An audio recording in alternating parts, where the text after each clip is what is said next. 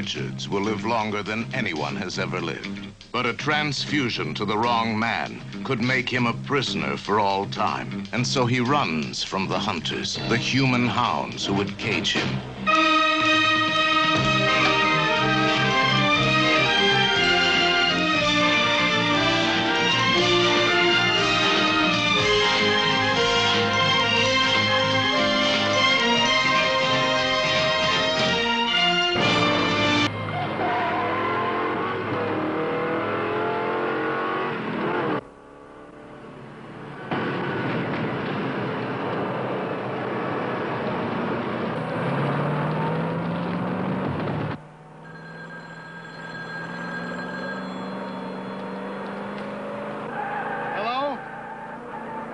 Sylvia.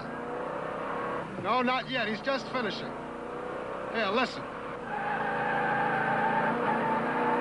Him? What's that? Oh, sure.